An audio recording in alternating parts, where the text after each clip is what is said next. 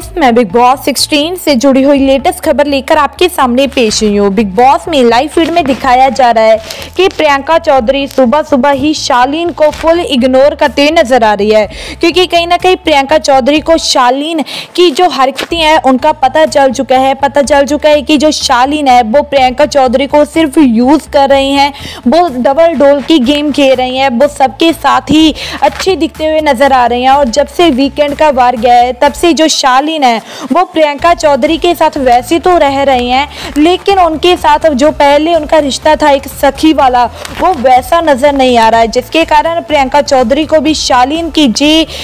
जो करतूतें हैं, उनके बारे में पता चल चुका है और उन्होंने पहले ही ठान लिया है कि अब मैं धोखा नहीं खाऊँगी। इस वजह से उन्होंने शालीन की ओर से उन्होंने अपना जो कदम है, वो पीछे धर लिया है। आपको क्या लगता है कि जो प्रियंका चौधरी ने अब डिसीज़न लिया है, क्या जे सही लिया? जब गलत तो प्लीज़ आप अपनी राय हमसे शेयर ज़रूर कीजिए और उनसे जुड़े हर अपडेट के लिए चैनल को सब्सक्राइब एंड वीडियो को लाइक नहीं किया तो प्लीज़ जल्दी से जल्दी कर दीजिए। धन्यवाद।